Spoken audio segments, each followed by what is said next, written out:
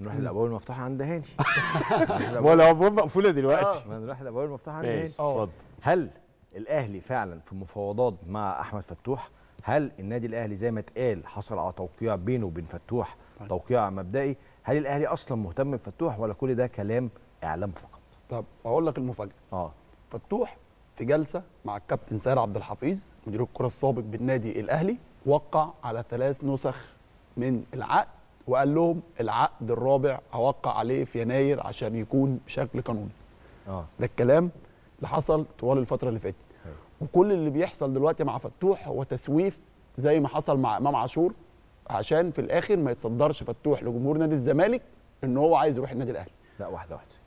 يعني دلوقتي مم. على حسب كلامك بحسب كلامي. كل اللي فتوح بيعمله فتوح اللي قاله عمرو ده كله في الآخر فتوح مش هيجدد تعجيز. تعجيز. لو وافقوا على الشروط ده هي- هي- هيجدد. ما هو الأرقام دي مش هياخدها في الأهلي. آه. الأرقام الكبيرة دي مش هياخدها في الأهلي. آه. لدرجة إن فتوح خلال الأيام اللي فاتت حصل مكالمة بينه وبين أحد المسؤولين داخل النادي الأهلي واللي بيحصل ده مش كويس. إحنا كده مش عايزين نع- مش عايزين فكرة إن أنت تكون مستغل اسم النادي الأهلي عشان تحقق مكاسب مع نادي الزمالك. أنت عايز تكمل الديل معانا عايز تكمل مش عايز تكمل قول لنا عشان نبدأ نشوف مفاوضات جديدة أو نقدر نشوف ظهير أيسر آخر. قال لهم أنا لسه ما أقدرش أرد على نادي الزمالك لأن أنا مرتبط بتعاقد كل الأمور متاحة حتى يناير المقبل ده نص المكالمة ما بين أحمد فتوح وأحد المسؤولين. فتوح وقع الفترة اللي فاتت ثلاث نسخ زي ما بقول لحضرتك والنسخة الرابعة قال لهم في شهر يناير علشان خاطر ما وقعش أصلا في الوقت اللي غير قانوني. كمان فتوح معاه عقد من السعودية احتمال يكون بعد يناير يطلع في أي مكان سواء في السعودية أو احتراف أوروبي لأن كمان فتوح وكذا لاعب دولي في منتخبنا الوطني فيتوريا كان بيتكلم معاهم الفترات اللي فاتت على أهمية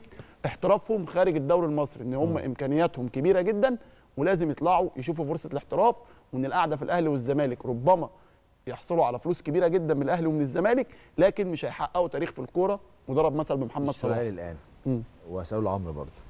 فتوح هيكمل مع الزمالك فتوح هيحترف بره فتوح هيروح النادي الأهلي. كل الاحتمالات مفتوحة. فتوح نفسه مش آه. حاسم قراره. عمرو. أنا بالنسبة لي آه الإجابة بسيطة. إذا توفرت الأمور المالية في الزمالك لأن خد بالك برضو الزمالك مش ه... مش هيسيب دراعه ويتلوي. امم يعني الزمالك عنده البدائل اللي جاهزة وممكن يتحرك فيها. بس وهنجي لها بعد شوية. ما- ما مفيش تح- زي بس. حط بس حط في اعتبارك حاجة عمرو مهمة جدا. أنا بحاول أحط نفسي مكان مرشحين في انتخابات نادي الزمالك أو الناس اللي هتكسب إدارة نادي الزمالك. هو بسم الله الرحمن الرحيم أول علاقتي مع جماهير نادي الزمالك. والله في تحركات حصلت يا كريم. ما همشي معاك واحدة واحدة بس عشان بس أنا أنا بحاول أ- بحاول أعيش الوضع. تمام. لو أنا إدارة نادي الزمالك جاية جديدة وأول حاجة تحصل عندي إن فتوح يروح للنادي الأهلي تمام؟ أكيد العلاقة بين الإدارة وجمهور نادي الزمالك هيبقى فيها حاجة. أكيد.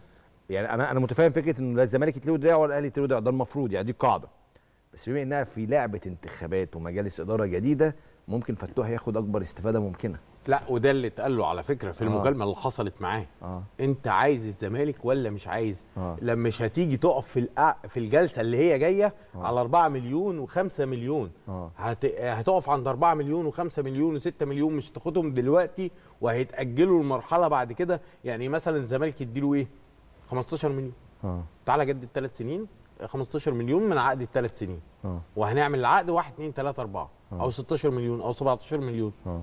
أنت الرقم ده رقم مهول إن أنت تجدد. مم. هتيجي تقف تقول لي لا أصل أنا عايز ده بالظبط.